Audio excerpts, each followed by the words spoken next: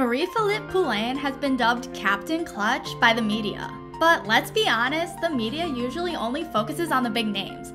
So I used PWHL data to discover the top 5 most clutch goals of Season 1. And what I discovered was kinda crazy.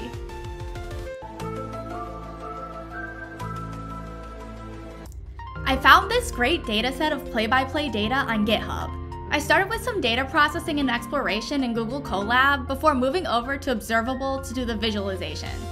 I based my clutch stat on four factors. 1. Time passed in a game. I just feel like late game goals are more clutch. 2. Game winning value. So game winning goals are more clutch, for example. 3. Whether it was a shorthanded or a power play goal. And 4. Buzzer beater. I just think buzzer beater goals are electric and seem extra clutch. I assigned some values for these different scenarios, but if you want, you can hop into this clutch calculator in the link in the description and play around with the settings. After configuring the settings, I calculated the clutchness using a weighted average of the four factors. I normalized everything so that it would spit out a clutch score between 0 and 100. With all that said, are you ready for the reveal?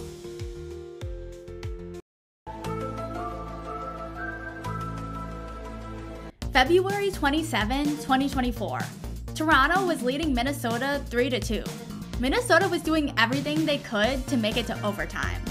Dasher, Compher trying to get to it, held in, Minnesota, dangerous, they score! Sophie Jaques does it again! What also made this game fun was that it was their Black History celebration, and even though there's only a few black players in the league, Sarah Nurse and Sophie Jaques absolutely came to play that day, both scoring two goals and earning the first and second star of the game.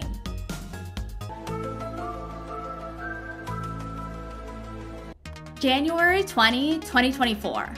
I'm pretty sure my clutch calculator would be broken if MPP didn't show up on this list.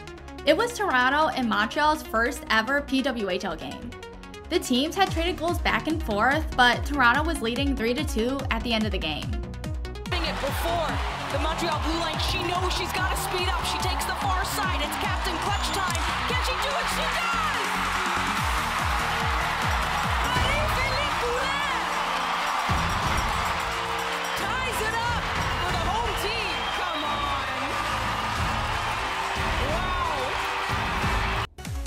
Not only was this goal just insanely cool, but it was also her second of the night.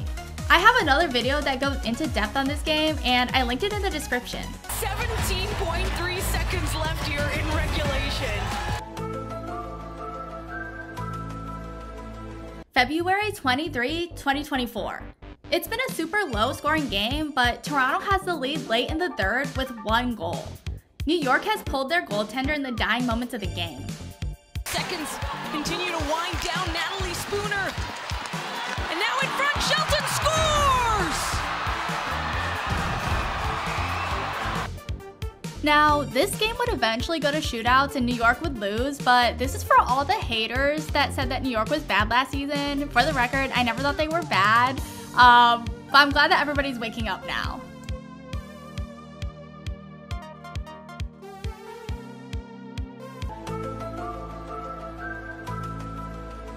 To get three points in regulation. What's the key to kind of chip away, tie this game up here early? Yeah, we got to play play desperate, play like our life depends on it because it obviously does here. So. Um. April 27, 2024. It's a tie game. All Minnesota needed to clinch a playoff spot was to end this game in a tie. And Boston was just fighting to keep their playoff dream alive.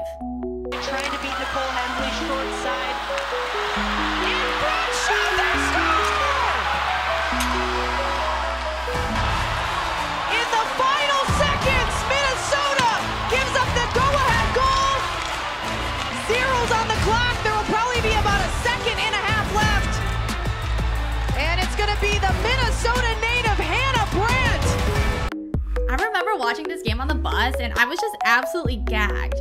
I have a video all about this moment and I linked it in the description.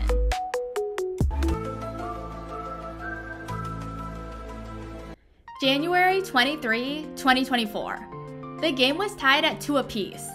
Ottawa was on a losing streak, having lost their previous five games all by one point, and Ottawa was on the penalty kill.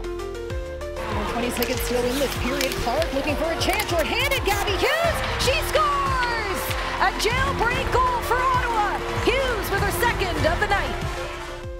Not only did Gabbie Hughes spring her teammate from the box, this would end up being the game winner and also her second goal of the night. I honestly didn't watch this game, but I'm so glad I discovered this goal because the context makes it even more clutch. And that's all I have for today. What do you guys think about the top 5 list?